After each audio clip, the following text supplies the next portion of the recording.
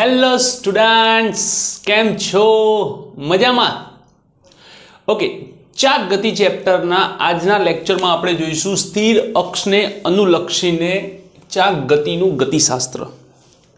જેમાં આપણો મુખ્ય અભ્યાસ ટોર્ક ઉપરનો છે. ટોર્ક એટલે શું?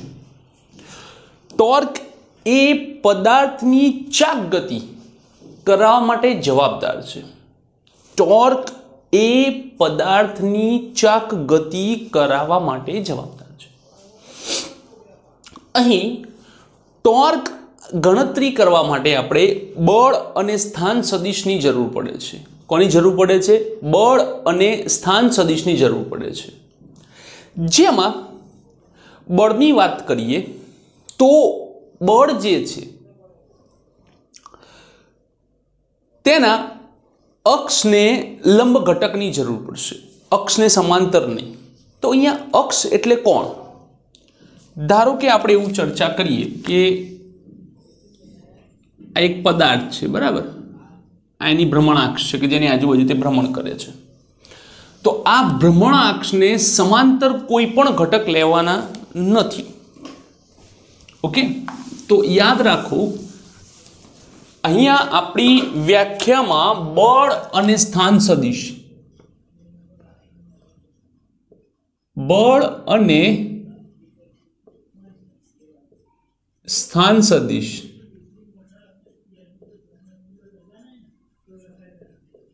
ના.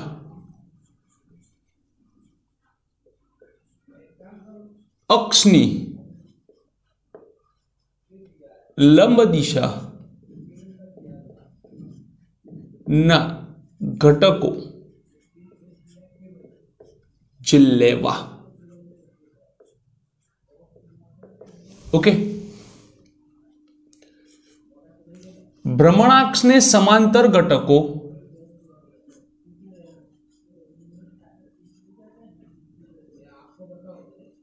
ભ્રમણાક્ષને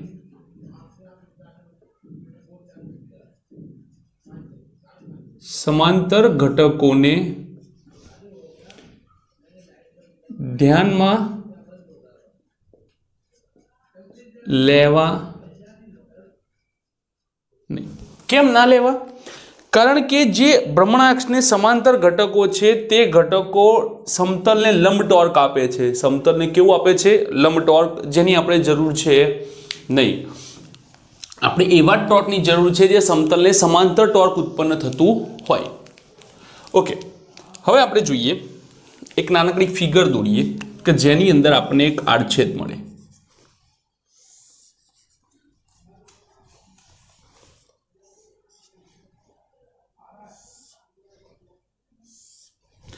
ધારો કે આ ખૂણો ટીટા છે.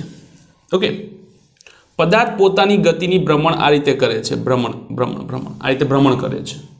ઓકે આ એનો સ્થાન સદિશ છે. તેને આપણે આર કહીએ છીએ. અહીંયા કોઈ દિશામાં બળ લાગે છે એફ અને આ ગતિપથનો સ્પર્શક આપણે લઈએ, જેને આપણે ડીએસ કહીએ. કોઈ કણ પી છે, જેનું ડીએસ વન લઈએ, એના પરનું બળ એફ વન લઈએ. ઓકે? હવે આ જે ખૂણો છે, એ છે આલ્ફા. બળ અને સ્થાન સદિશ વચ્ચેનો જે ખૂણો છે તે છે ફાઈ. ઓકે, તમે આને આલ્ફા વન, ફાઈ વન પણ કહી શકો છો. આ જે ખૂણો છે તે છે ડી થીટા, આ આર વન. અથવા તો આર પણ લઈ શકો છો, કારણ કે વર્તુળમય ગતિમાં છેડા પરના બધા બિંદુઓ સમાંતરે છે. આ છે પી વન ડેશ, આને આપણે પી વન કહીએ. ઓકે, આને આપણે સી કહીએ, ચલો. હવે, ધારો કે પી વન પાસેના બિંદુને બોર્ડની મદદથી આપણે પી પર લઈ જઈએ છીએ. યાદ રાખો, આ ડીએસ વન જે છે તે આખો નથી, માત્ર પી સુધીનો જ છે. ઓકે? તો શું લખું છું કે બળ એફ પી કણને બળ એફ વનની મદદથી પી ડેશ પાસે લઈ જવો છે. ઓકે પી ડેશ પાસે લઈ જવો છે. જ્યાં તેનો ખૂણો P one C P one dash ખૂણો P one C P one dash is equals to D theta બને છે. તો અહીંયા જે આપણી ચાપ છે તે ચાપ છે ડીએસ ડીએસ વન ચાપ બરાબર ત્રિજ્યા ગુણ્યા ખૂણો. R one D theta okay R one D theta હવે પી વનથી પી વન ડેશ સુધી લઈ જવા માટે કરવું પડતું કાર્ય. પી વનથી પી વન ડેશ સુધી સ્થાનાંતર ડીએસ વન થાય છે. કેટલું થાય છે? ડીએસ વન થાય છે. તો આમ કરવું પડતું કાર્ય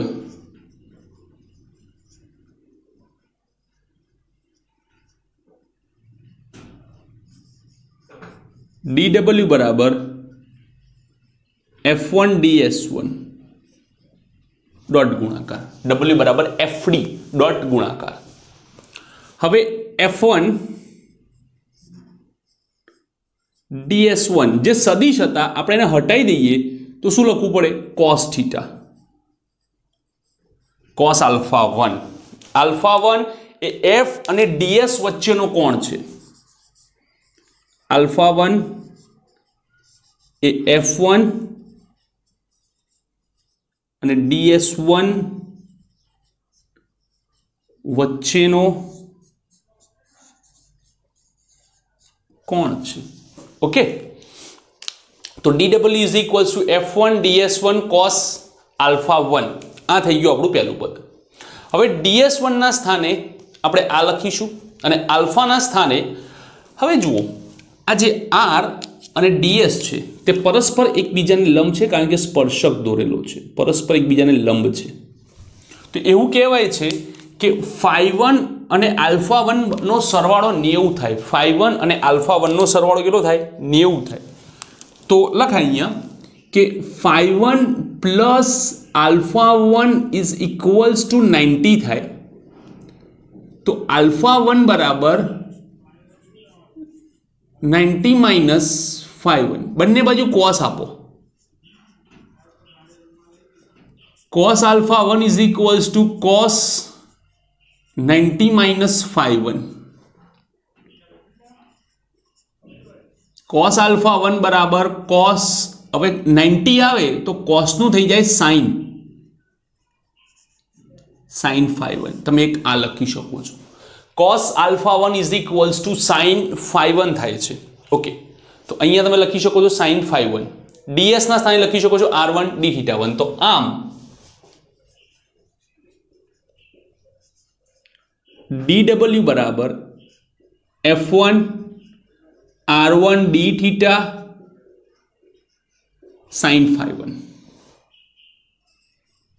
D W is equals to F one R one sine five one D theta સમીકરણ નંબર એક ઓકે હવે આર તરીકે આવે સીપી વન આર તરીકે આવે સીપી વન તો અહીંયા આપણે સમીકરણ નથી લખતા, અહીંયા લખીએ. F one CP one sine five one D theta D double is equals to sine છે એટલે લખીએ F one cross CP one D theta આને આપણે સમીકરણ નંબર એક કહીએ. ઓકે શું કહીએ? સમીકરણ નંબર એક. હવે એક ફિગર આપણી એવી હતી કે જે આપણે જોવાની છે. એક કામ કરો, એ પહેલાં આટલું લખી લઉં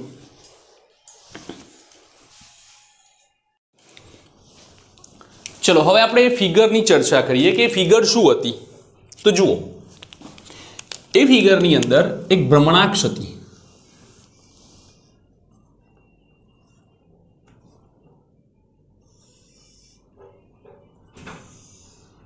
આ ભ્રમણાક્ષ છે. આ પી બિંદુ છે. આ સી છે. આ ઓ છે. ઓકે? તો આને આપણે પી વન કહીએ, જે આપણી પાસે છે. તો સદિશ પ્રમાણે O P one is equals to OC plus C P one. થાય? OC plus C P one. સદિશની વાત કરીએ તો આ આપણો સદિશ ઓ સી. આ આપણો સદિશ પી વન. એકના શીર્ષ પર બીજાની પૂછ આવે તો પરિણામી સદિશ આ બને. ઓકે. અને આપણે આર વન કહીએ છીએ. હવે જોઈએ. તો આપણે શરૂઆતમાં જ શું વાત કરી છે કે આ જે ભ્રમણાક્ષ છે, એને સમાંતર ઘટક લેવાની જરૂર નથી. તો ઓસી એ ભ્રમણાક્ષને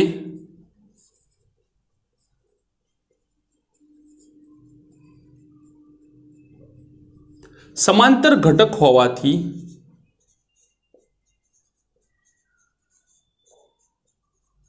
તેની ગણતરી ન કરવી. તેની ગણતરી કરવાની જરૂર છે નહીં. હવે જોઈએ આપણે કે આ ઓમેગા છે.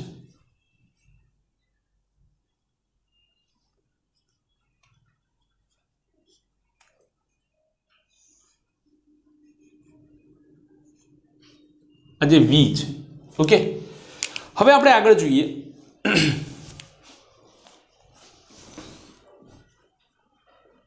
D W is equals to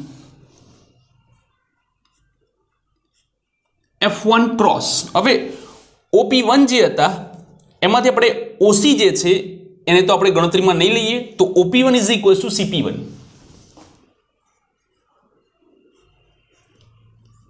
D theta અને સીપી એટલે કે આર તો આમ એફ ક્રોસ એટલે tau D theta okay okay okay આપણે એક કામ કરીએ.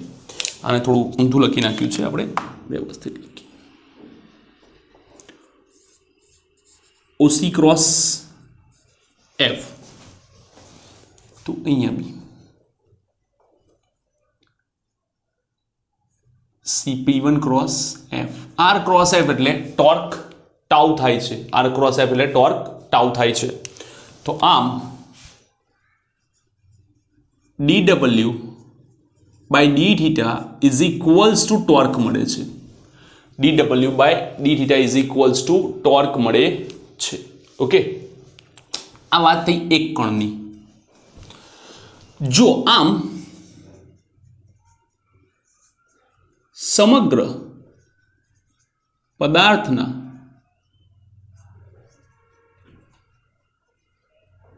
બધા જ કણોની ગણતરી કરીએ, તો કુલ ટોર્ક એ બધા જ ટોર્કનો સરવાળો થાય. તો આમ D W is equal to tau D theta સમય ડીટી વડે ભાગી નાખો કારણ કે આપણે પાવર જોઈએ છે. સમય ડીટી વડે ભાગતા.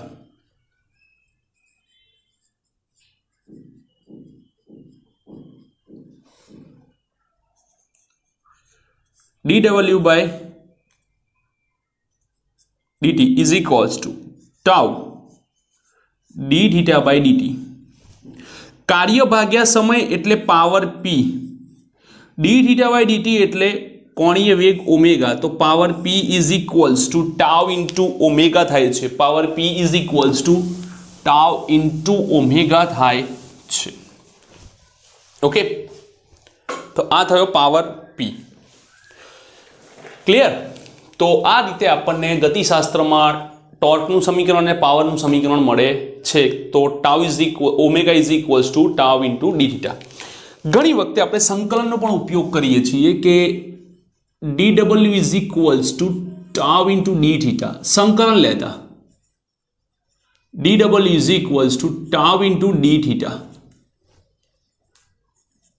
તો D W is equal tau into theta. હવે આ જે છે એ ચાક ગતિમાં છે. ઓકે? અને W is equals to FD એ રેખીય ગતિમાં છે. શેમાં છે? રેખીય ગતિમાં. તો આપણને ખબર છે કે ડી એ સ્થાનાંતર છે, તો થીટા એ કોણીય સ્થાનાંતર છે. અહીંયા બળ એફ છે, તો અહીંયા ટોર્ક ટાઉ છે. બંને પરસ્પર એકબીજા સાથે સંબંધ ધરાવે છે. ઓકે? એવી જ રીતે ચાક ગતિની વાત કરીએ તો ચાક ગતિમાં power P is equals to tau into omega છે. ચાક ગતિમાં power P is equals to tau into omega છે. જ્યારે રેખીય ગતિમાં અથવા તો સ્થાનાંતરિત ગતિમાં power P is equals to F into V છે, તો વી અને ઓમેગા બંને વેગ દર્શાવે છે. એફ અને ટોર્ક બંની ચાકમાત્રાઓ દર્શાવે છે. તો આ એક રિલેશન પણ બને છે. ઓકે. હવે આપણે આગળ જઈએ અને જોઈએ. તો શું કહે છે? કે ગતિ ઊર્જા, ચાક ગતિની ગતિ ઊર્જા. કે K is equals to one half I omega square આ ચાક ગતિ ઊર્જા છે. ઓકે. હવે મારે ચાક ગતિ ઉર્જામાંથી પાવરમાં જવું છે. તો આનું હું વિકલન કરીશ સમયની સાપેક્ષે ડી કે બાય ડીટી કેવી રીતે? તો એકમ સમયમાં વપરાતી અથવા તો ઉત્પન્ન થતી, એકમ સમયમાં વપરાતી અથવા તો ઉત્પન્ન થતી ઉર્જાને પાવર કહે છે. તો ડીકે બાય ડીટી એટલે પાવર થાય. વન બાય ટુ આઈ અચળ છે ઓમેગા સ્ક્વેર એટલે ટ્વાઇસ ઓમેગા વિકલન જે છે, સમયની સાપેક્ષે થાય છે, તો ડી ઓમેગા બાય ડીટી લખવું પડે. જુઓ. યાદ રાખો. સમયની સાપેક્ષે વિકલન થાય છે, ઓમેગાની સાપેક્ષે થતું નથી. એટલા માટે આપણે ડી ઓમેગા બાય ડીટી લખવું પડે છે. અથવા તો આપણે એવું કહીએ કે K is equals to half I omega square okay omega વડે વિકલન કરો. D omega twice omega. સામે જવા દો omega. One by two I twice omega D omega. DT વડે ભાગો. આઈ યુ એનું એક સ્ટેપ એટલે મેથ્સમાં બહુ ધ્યાનથી એ લોકોએ સાબિતીઓ આપી છે. અને ફરી વાર હું તમને કહી દઉં કે જ્યારે તમે વિકલન કરો છો, ત્યારે ધ્યાન રાખવાનું છે કે તમે જો સમયની સાપેક્ષે વિકલન કરો છો અને સમયનું નથી કરતા, સમયની સાપેક્ષે વિકલન કરો છો, પણ સમય આપેલો નથી, તો ત્યાં જેનું બી વિકલન કરો, ત્યાં ડી ઓમેગા બાય ડીટી લખવું ડીવી બાય ડીટી લખવું ડી એ બાય ડીટી લખવું જે બી આપેલું હોય. અને કહીએ આપણે power P half half cancel I omega D omega by DT એટલે પ્રવેગ. પણ power is equal to tau omega omega omega cancel tau is equals to I alpha જેને ટોર્ક અને જડત્વની ચાકમાત્રા વચ્ચે નો સંબંધ કહેવાય છે. જેને ટોર્ક અને જડત્વની ચાકમાત્રા વચ્ચેનો સંબંધ તરીકે વ્યાખ્યાયિત કરવામાં આવે છે. તો આ હતી આપણી આખી થિયરી સ્થિર અક્ષને અનુલક્ષીને ગતિશાસ્ત્ર, જેમાં આપણે કણના અભ્યાસ પરથી સમગ્ર પદાર્થ માટે કરવું પડતું કાર્ય, તેમાં ઉદ્ભવતો પાવર. ઓકે કેટલાક સૂત્રો એ જે છે તમારે યાદ રાખવાના છે, જેમ કે આ સૂત્ર, પછી આ સૂત્ર, અહીંયા તારવ્યું આ બંને એક જ જેવા છે, okay? Pi tau omega tau is equals to I alpha pi is equals to I omega alpha આ બધા જ સમીકરણ કે is equals to half I omega square already આગળ આવી ચૂકેલું છે. તો આ બધા જે સૂત્રો છે એ તમારે યાદ રાખવાના છે, કારણ કે આ સૂત્રો સીધા દાખલામાં વપરાશે, સીધા દાખલામાં ટાર્ગેટ કરશે, બરાબર? કે તમને આપેલું હશે, ટાઉ હશે, થીટા હશે ને એમ કહેશે કાર્ય શોધો. ઓકે, ટાઉ આપશે, ઓમેગા આપશે ને પાવર શોધો અથવા તો પાવર આપ્યો હશે, ઓમેગા શોધવાનું કહેશે. કંઈ પણ એ રીતે આપ્યું હશે, પણ આ સૂત્રો યાદ હશે તો તમે વાપરી શકશો, નહીં તો નહીં વાપરી શકો. જો સૂત્રો યાદ નથી રહેતા અથવા તો ભૂલી ગયા યાદ કરવાના, તો ટેન્શન નહીં લેવાનું. પાવર શોધવાનો કીધો છે, તો પાવરનું સામાન્ય સૂત્ર શું થાય? પી બરાબર એફ ઇન્ટુ વી તો ચાક ગતિમાં એફની જગ્યાએ શું વાપરીએ? ટોર્ક વેગની જગ્યાએ કોણીય વેગ? સૂત્ર બની જશે. પણ રેખીય ગતિના સૂત્રો યાદ હોવા જોઈએ. જો એ પણ યાદ નથી, તો પછી તમને કોઈની મદદ કરી શકે. ઓકે? તો તમારે મદદ માટે એટલીસ્ટ સ્થાનાંતરિત ગતિ અથવા તો રેખીય ગતિના સૂત્રો તો મગજમાં કમ્પ્લીટ ફિટ બેસાડેલા હોવા જરૂરી છે. નહીં તો નહીં થાય. ઓકે? તો આ હતો આજનો આપણો ટોપિક જેમાં આપણે એ થિયરી એકદમ ઇઝી વેમાં લીધી છે, એકદમ ઇઝી વેમાં બુકમાં બહુ બધું ડિફિકલ્ટ લેવલ બતાવ્યું છે બટ આપણે એને એકદમ ઇઝી લેવલથી એને ક્લિયર કરી છે. આઈ હોપ કે તમને બધાને સમજ પડી જશે ઓકે તો એના માટે એક લાઇક એક કમેન્ટ થઈ જાય. Thank you for watching this video